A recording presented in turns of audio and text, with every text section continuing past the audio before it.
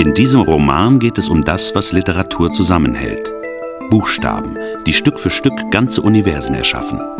Nichts Weißes von Ulf Erdmann Ziegler. Das Merkwürdige ist ja, dass man als Leser sich von der Gestalt des Buchstabens fast völlig lösen muss, um überhaupt den Sinn eines Textes zu erfassen.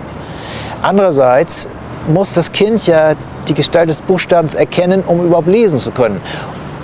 Und, und dazwischen ist ja irgendwie eine Leerstelle. Äh, die hat mich sehr interessiert.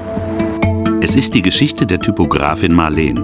Eine junge Frau, besessen von dem Wunsch, die perfekte Schrift zu entwickeln. Wenn es gelänge, würde die Futura im Vergleich aussehen wie Lego, die Helvetica wie Angst, die Garamond wie geschnitzt. Eine Schrift ohne Stil soll es sein, eine Schrift, die man gar nicht bemerkt.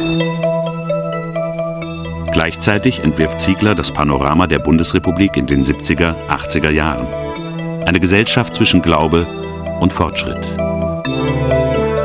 Der Katholizismus ist das, wo man ausbrechen kann. Und die, die, die weltliche Dimension ist das, äh, was sich als ähm, Fluchtpunkt anbietet. Aber dabei entstehen natürlich ziemlich extreme mentale Risse. In Zieglers Roman ahnt man schon das Ende des Gutenberg-Kosmos. Die Bleilettern werden bald umziehen in eine digitale Welt. Und nichts wird mehr so sein, wie es einmal war. Eine besondere, wohl neue Spielart realistischen Erzählens zeichnet diesen Roman aus.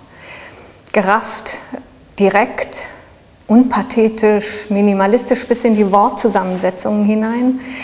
Der, ähm, der Text zwingt einen sogar dazu, langsam zu lesen.